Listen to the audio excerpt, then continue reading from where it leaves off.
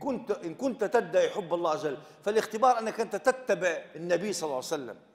ليس هرطقة ولا تمسك بالمظاهر أربع خمسة مظاهر بس فقط الباقي سنة النبي صلى الله عليه وسلم كله بها أرض الحائط. السنة وأخلاق النبي صلى الله عليه وسلم مش مجرد لحية مش مجرد جلباب مش مجرد إزار مش مجرد طاقية مش مجرد سوار سواك. مش مجرد انك انت تلبس الساعة في اليمين ولا في اليسار أو تشرب واق وتشرب. هذه مجموعة بسيطة من السنن. سنة النبي أعظم من ذلك بكثير وهذا جزء منها واجب أن تتمسك به لكن لا تجعله هو المقياس والمعيار الوحيد.